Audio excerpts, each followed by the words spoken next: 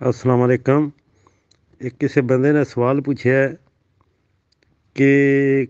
ਰਾਜ਼ੀ record centre ਦੇ ਵਿੱਚ ਸਾਡਾ ਖੇਵਟ ਨੰਬਰ ਵੀ ਹੈ ਤੇ ਨਾਮ ਵੀ ਹੈ, ਮਗਰ ਜ਼ਮੀਨ ਸ਼ੋ ਨਹੀਂ ਹੁੰਦੀ। ਗੱਲ ਇਹ ਹੈ ਵੀ ਜਿਸ ਵਕਤ ਜ਼ਮੀਨ ਫਰੋਖਤ ਕਰ ਛੜੋ ਨਾ, ਤਾਂ ਨਾਮ ਵੀ ਲਿਖਿਆ ਰਹਿੰਦਾ ਤੇ ਖੇਵਟ ਨੰਬਰ ਵੀ ਅਸੀਂ, ਲੇਕਿਨ ਅੱਗੇ ਉਸ ਦੀ ਮਲਕੀਅਤ ਜ਼ੀਰੋ ਲਿਖੀ ਅਸੀਂ, ਬਈ ਰਕਬਾ ਫਰੋਖਤ ਹੋ ਗਿਆ ਇਹ ਨਾਂ ਤਾਂ ਲਿਖਾ ਰਹਿੰਦਾ ਹੈ ਕਿ ਉਹ ਬੰਦਾ ਜਿਹੜਾ ਕਿਉਂਕਿ ਉਹਦਾ ਸ਼ਾਮਲਾਤੀ 'ਚ ਹਿੱਸਾ ਹੁੰਦਾ ਇਸ ਵਾਸਤੇ ਉਹ ਜਿਤਨੀ ਉਹਨੇ ਜ਼ਮੀਨ ਫਰੋਖਤ ਕੀਤੀ ਹੁੰਦੀ ਹੈ, ਉਹ ਉਸ ਦੇ ਹਿੱਸੇ ਲਿਖੇ ਹੁੰਦੇ ਨੇ। ਉਸ ਦਾ ਮਤਲਬ ਇਹ ਹੁੰਦਾ ਹੈ ਕਿ ਉਹ ਸ਼ਾਮਲਾਤੀ 'ਚ ਉਤਨੇ ਹਿੱਸੇ ਦਾ ਮਾਲਕ ਹੈ ਵੈ, ਹਿੱਸੇਦਾਰ ਹੈ ਵੈ, ਤੇ ਬਾਕੀ ਉਸ ਦੀ ਮਲਕੀਅਤ ਅੱਗੇ ਨਹੀਂ ਲਿਖੀ, ਇਸ ਦਾ ਮਤਲਬ ਹੈ ਉਹ ਮਲਕੀਅਤ ਫਰੋਖਤ ਕਰ ਚੁੱਕਿਆ ਹੈ। ਅਸਲਾਮ ਅਲੈਕਮ